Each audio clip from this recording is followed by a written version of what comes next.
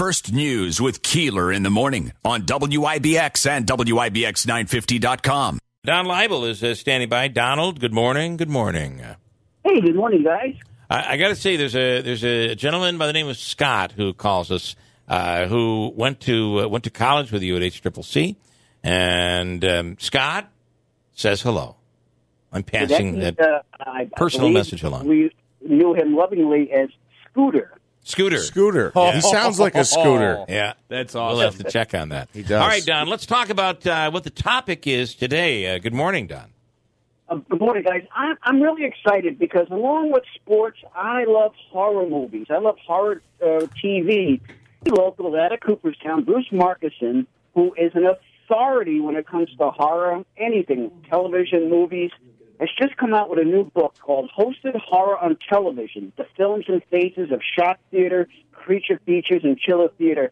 Now think back to your youth, as they would say, and uh, on Saturday nights or Friday nights, uh, many of the local channels late in the evening would show black and white, as I called them, monster movies. But you had everything from the Wolfman to Dracula to Frankenstein to other things as the years uh, progressed. Well, Bruce has just come out with a book pretty much on a history of uh, late night horror television, Yeah. but also uh, in Cooperstown, he um, uh, also gives uh, ghost tours.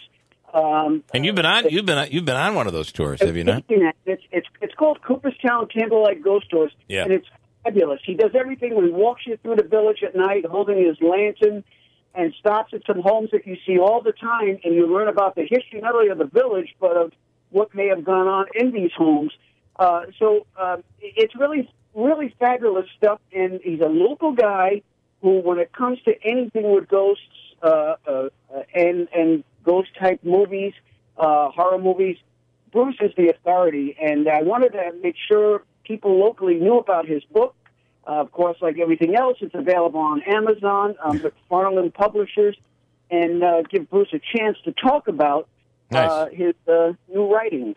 Uh, Bruce, of course, is on the line right now. Bruce, uh, formerly of WIBX, uh, has moved on to bigger and better things. Uh, Bruce, good morning. Thanks for coming on.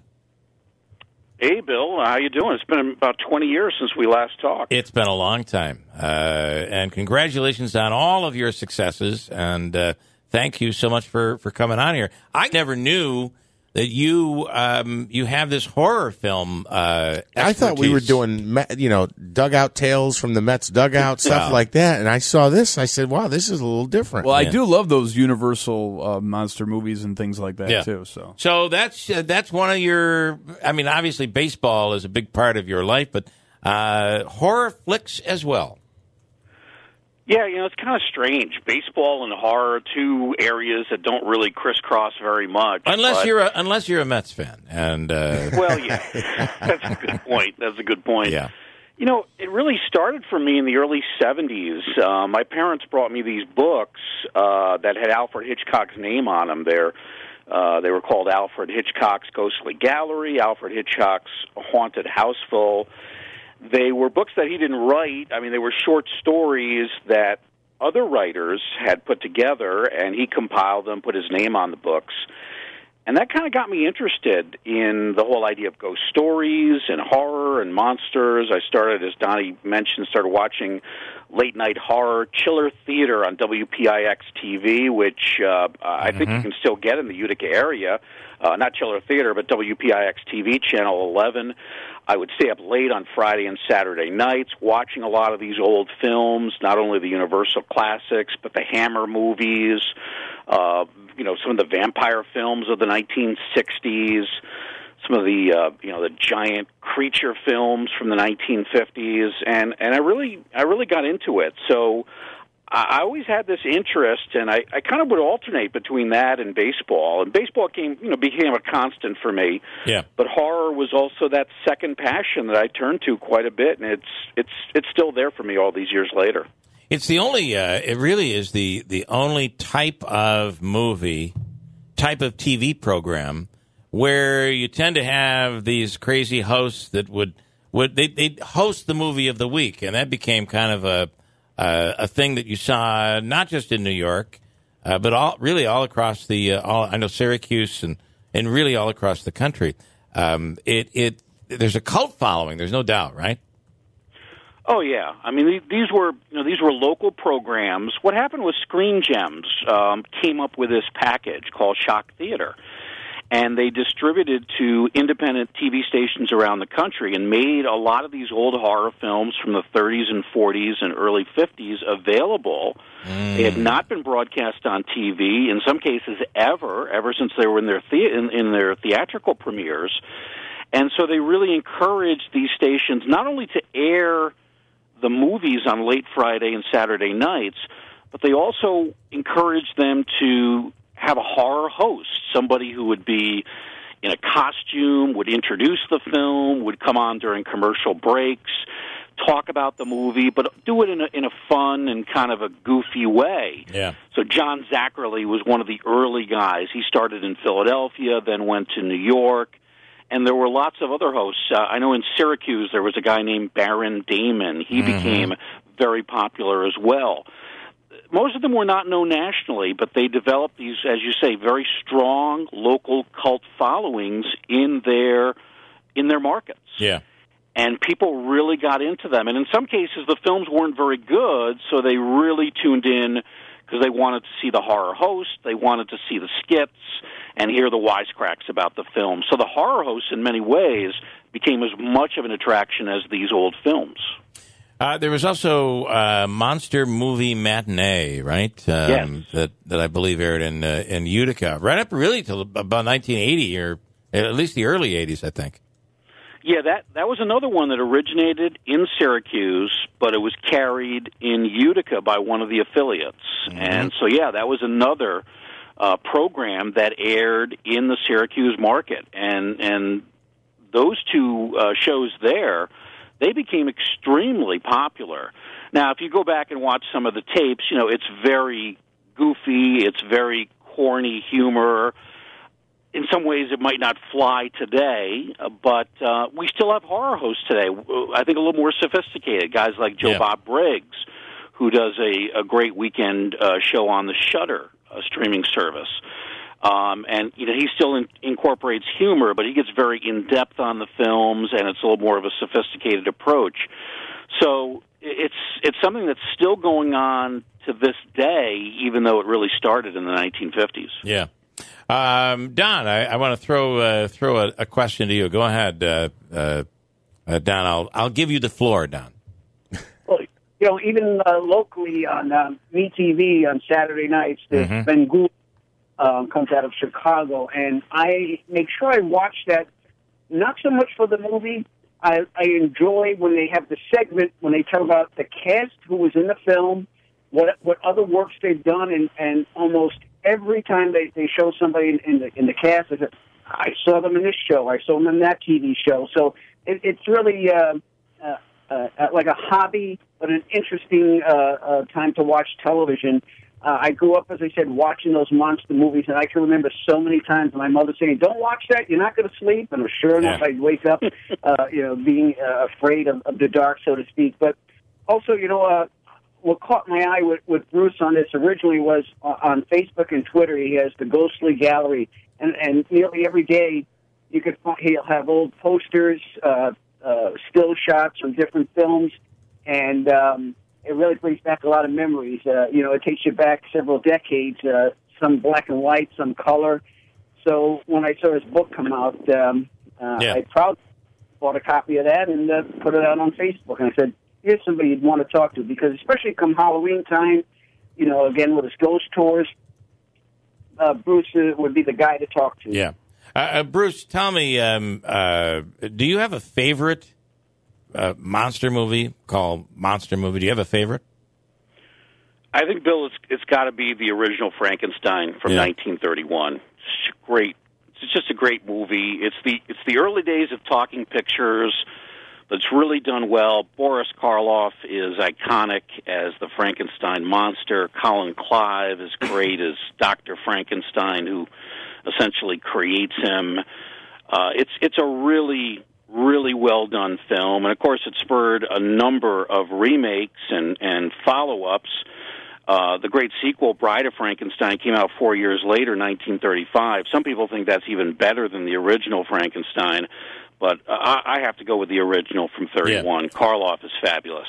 And it's interesting too. You know, you speak to people uh, who are other classic horror movie aficionados, and they say back then those were scary, scary movies for people that went and saw them. They were, you know, actually horrified by it. Now you watch it now, and you're like, "What's so scary about that?" But Yeah, yeah. at the time, it, it really did. Oh, you're absolutely right. I mean, when people first saw Dracula come on the screen, or they saw the Frankenstein monster be born, and they watched it in you know, the big screen, this was this was shocking. And again, it was the early days of talking pictures. Yeah. So you you add the sounds to these images, these monsters that, for the most part, had never really been seen before on the big screen and it was it it was paralyzing to some people. I mean, some people literally left the theater. People were screaming. You know, we think back now and we look at it now, and it's tame compared to the violence of today. Yeah, I yeah. know the Back Saw then, movies. It was Are a shock kidding? to their system. Yeah, uh, and my God, you're right. I mean, today the re- everything is so real. Um, it, uh, that seems to be where we're going. Uh, uh, everything's got to look real, and I, I don't know. So graphic. It's always got to yeah. be a way you've never seen a Yeah. person murdered Yeah. before. Well, and it's interesting too, though. You still had people like uh, John Carpenter when he m- made the original Halloween film that he was kind of devoted to not having any blood or gore, but the horror was in the use of music and just the that William Shatner mask yeah. of Uh, the face. I I have Jeff asking about a documentary about uh, monster movies called Monster Mansion Memories. Um, Familiar with that? Yeah, I've seen it. Uh, those guys actually uh, that put that together were at the Scare-A-Con convention that used to take place at Turning Stone, and I met them. They gave me a copy of the DVD. It's really well done, and it goes into the whole history uh, of that program out of Syracuse. Uh, it's it's it's in depth, and they interviewed a lot of the people that were involved. Sadly, you know, the hosts from those shows uh, for the most part, have either passed away or, you know, are very, you know, up in years. Yeah, But um, it, it it's an excellent it's an excellent documentary. If people have not seen it, especially locally, uh, they should. Uh, Julie says there was a Syracuse AM radio personality, Bill Everett, who was a sidekick or something on Monster Movie Matinee. She said she toured the studio as a kid. Um, I'm sure you're uh, familiar with that as well. Yeah, he went. I think he went by two different names. Bill Everett might have been his real name, and I believe on the air he went. Uh, he was known as uh, Willard Lape, I believe, if I'm getting the name correct. Right. But uh, it's. I, I, believe it's the same person.